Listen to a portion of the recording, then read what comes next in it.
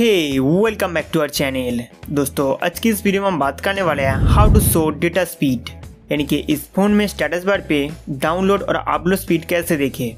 दोस्तों सैमसंग की ओर से नेटवर्क स्पीड मीटर नहीं दिया जाता है, इसलिए प्ले स्टोर से एक छोटा सा एप्लीकेशन डाउनलोड करना पड़ेगा।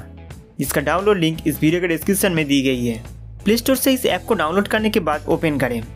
इसमें केवल नोटिफिकेशन परमिशन अलाउ करना है। इसके अलावा आपसे और कोई भी परमिशन नहीं मांगेगा। गाइज़ ऊपर में देखिए इंटरनेट स्पीड मीटर चालू हो गया है। यहाँ से डाउनलोड और अपलोड स्पीड मॉनिटर कर सकते हैं।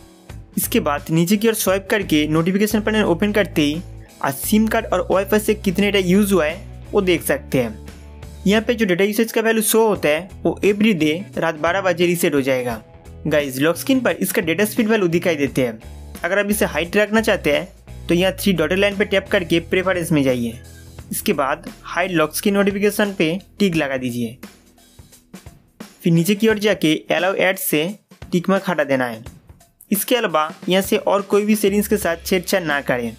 तो दोस्तों, इस तरह से आप डेटा स्पीड मीटर के साथ साथ डेली डेटा यूसेज भी देख सकते हैं। उम्मीद करता हूँ कि ये वीडियो आपके लिए बहुत हेल्पफुल था।